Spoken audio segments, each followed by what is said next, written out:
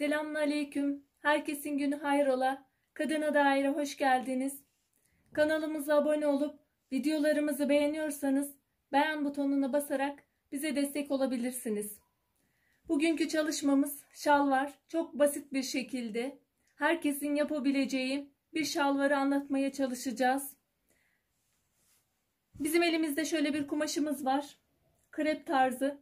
Viskon kumaşlardan, pamuklu kumaşlardan da çok güzel oluyor. Şu an elimde yok. Siz eğer pamuklu kumaşlardan, viskon tarzı kumaşlardan yaparsanız önce kumaşınızı çekmesi, çekmesini önlemek için, çekme olanağını ortadan kaldırmak için önce yıkayıp sonra dikebilirsiniz. Öyle daha sağlıklı olur. O bilgiyi de verdikten sonra şöyle elimizde çiftten bir buçuk metre eninde bir buçuk eni bir buçuk boyu yani bir buçuk bir buçuk olarak bir kumaş ihtiyacımız var. Kumaşımı hazırlıyorum şimdi. Şöyle bir kare kumaşı ihtiyacımız var. Enini söyledim zaten bir buçuğa bir buçuk olarak. Bunu şimdi üçgen şekli yapıyoruz. Kumaşımızı iki kat üçgen şekline getiriyoruz. Öncelikle şu üçgen yaptığımız üçgen kısmı diğer kısımlar değil bel ölçüsünü almak için basenimizi alıyoruz. Eteklerde dörde bölüyorduk ama bunda iki kat yaptığımız için burada iki kat kumaşımız var.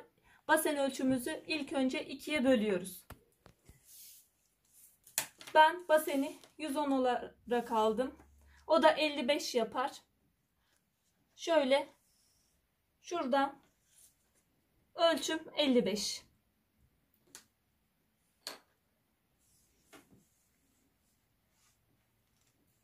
...55 santimi aldık. Şuranın ikisinin ölçüsü de eşit olması gerekiyor. Şöyle 40 santim. Şurayı da şöyle 40 santim. Şimdi bunu keserken... ...şöyle... ...kloş etek keser gibi ölçülerini alıyoruz. Her yer 40 şeklinde gidiyoruz.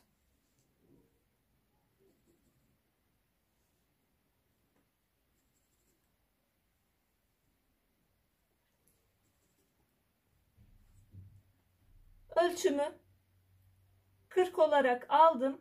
40 santimden yaptım. Şöyle bir santim dikiş payı vererek kesiyoruz.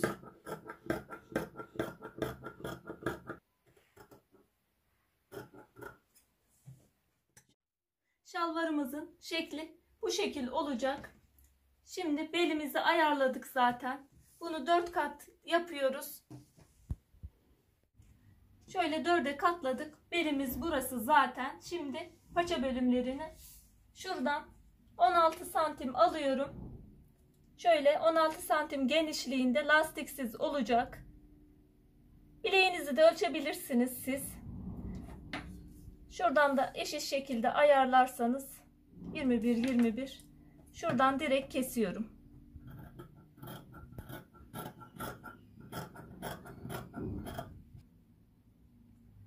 Şöyle kesimimi yaptım. Şimdi kesim bundan ibaret dikiş aşamasıyla başlıyoruz.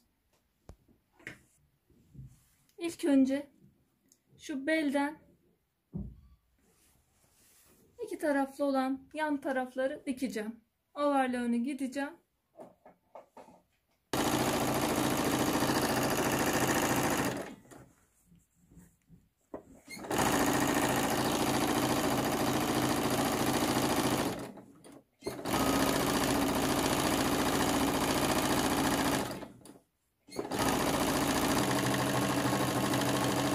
Yan dikişlerimi diktim. Overlocklarını gidiyorum. Overlock makinesi olmayanlar böyle sırfil ayarıyla da yapabilir.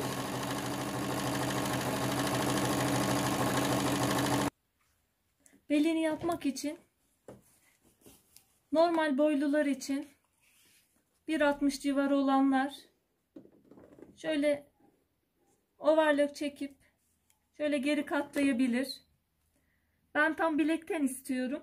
O yüzden boyunun uzun olmasını istiyorum. Elinizde 10 santime yakın lastikler varsa 6 santim bu. 10 santime yakın varsa 6-7 sant bu santimlerde de olabilir. Onu da direkt bel yaparsınız. Boyunu uzatabilirsiniz. Ben şimdi şöyle bir küçük parça ayırdım.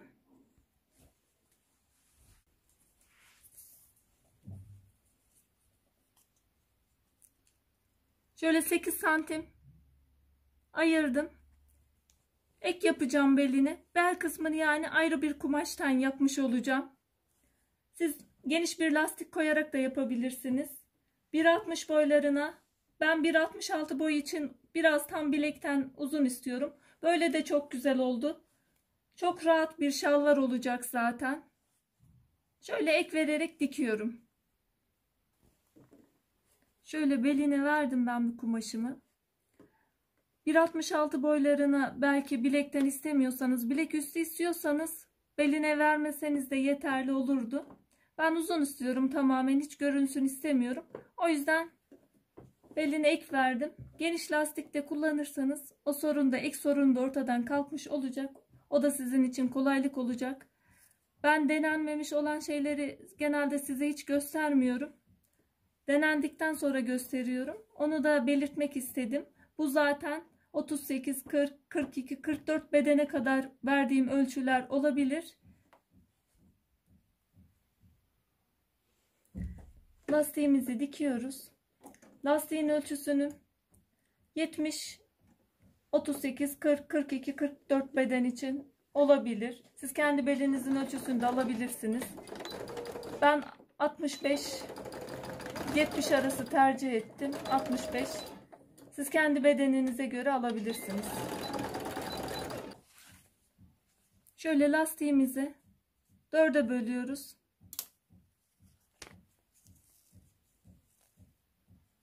İşaretliyoruz. Lastiğimiz eteğimizde dengeli durması için.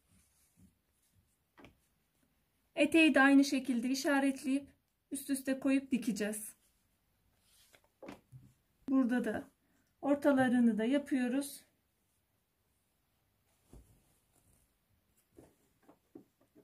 Şöyle lastiğimizi koyuyoruz. Üzerine şöyle bir santimin içeri alarak herkes normalde overlockla yapıyor ama ben tek dikişle halletmeye çalışıyorum. O iki dikişle değil de tek dikişle beli halletmeye çalışıyorum. Şöyle üzerine koyduk. Şuraya da altta lastiğimizi çekiyoruz. Diğer elimizle de arkadan çekip dikiyoruz. Tek dikişle belimizi dikmiş oluyoruz. İğneleri yine aynı yere gelecek şekilde dengeli bir şekilde çekip dikiyoruz. Böylece belimizi bitirdik.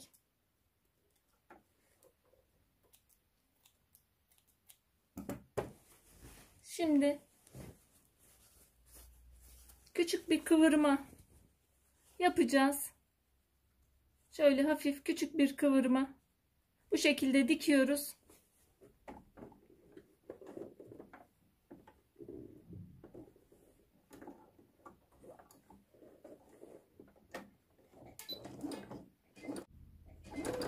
Arzu eden arkadaşlar lastik de takabilir.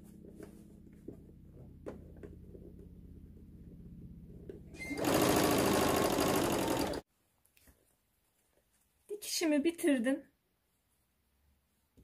Ütüden sonra son halini göstereceğim. Arkadaşlar benim şalvarımın son hali böyle. Gerçekten çok basit. Hiç dikiş bilmeyen bile kesip dikebilir ve de çok güzel oldu. Üzerimde gösterme imkanım yok. Eğer gösterebilseydim gerçekten güzelliğini siz de görmüş olurdunuz. Şimdiden denemek isteyen, yapmak isteyen arkadaşlara kolaylıklar diliyorum. Allah'a emanet olun. Hoşça kalın. Sağlıcakla kalın.